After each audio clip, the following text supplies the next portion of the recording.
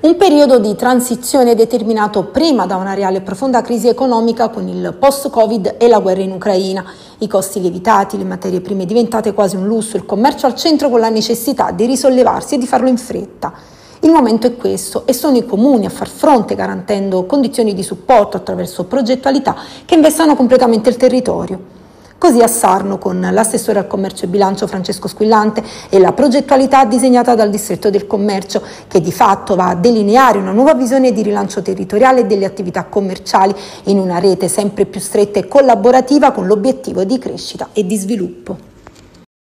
Il momento è difficile nell'ambito non dico nazionale ma forse europeo poi ognuno bada al proprio territorio, noi siamo amministratori locali quindi dobbiamo guardare al nostro territorio, potremmo dire al nostro otticello. Noi come amministrazione cerchiamo e stiamo cercando di dare il massimo, lo abbiamo fatto con creare un calendario che potesse dare a sospiro, respiro alle attività commerciali, lo abbiamo fatto attraverso l'istituzione del distretto urbano del commercio, per fine mese ci sarà la firma dell'accordo di distretto, si parlerà di programmazione di rigenerazione, ma soprattutto di tutela degli esercizi di vicinato, quei piccoli negozi che ormai hanno grosse difficoltà e che si trovano a dover combattere con la burocrazia, con il fisco e anche con quello che poi oggi ci troviamo a vivere che è il momento anche del